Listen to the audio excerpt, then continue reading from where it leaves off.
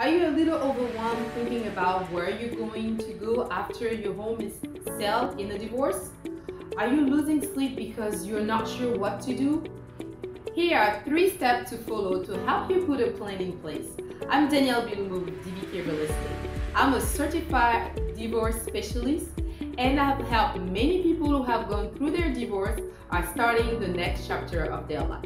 This can be a little overwhelming but I've found that by putting a plan in place while you are selling your marital home, you can take a guesswork on what next step is. First, now you have decided to sell your home, you will want to have a discussion with your realtor about your seller net proceeds from the sale. How will the proceeds be split between you and your spouse? Understand when the proceeds will be available to you. Second, once you know approximately what your share of the proceeds will be, you will want to decide if you want to buy another home or you will want to rent for a period after the sale. Regardless of what your choice is, you will want to put together a budget with your new income situation. This may or may not include alimony or child support. And last, once you have a budget, if you decide to purchase another home, contact a lender and get pre-approved on your next purchase subject to contingency of sale of your marital home. You will have to provide income documentation and asset information and they will request a copy of the divorce decree.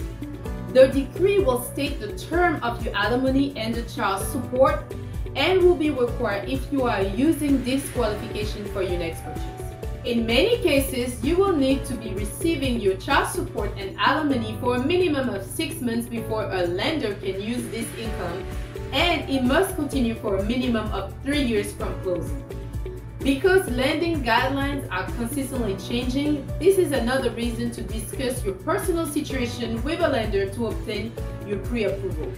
By taking these three steps, you will be able to put a plan in place for the next chapter of your life.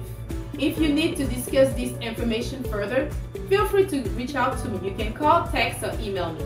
Again, I'm Danielle Bilumbu with DBK Real Estate. And with DBK Real Estate, we have the result that will move you.